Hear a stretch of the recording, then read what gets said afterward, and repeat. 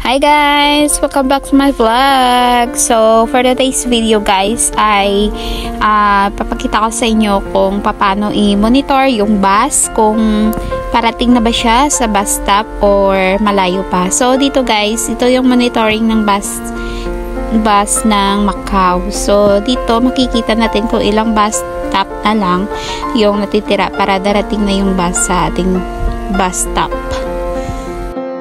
So, yan na guys, yung bus natin parating na. So, pag darating na yung bus, kailangan mo magmadali kasi hindi ka kahintayin ng bus.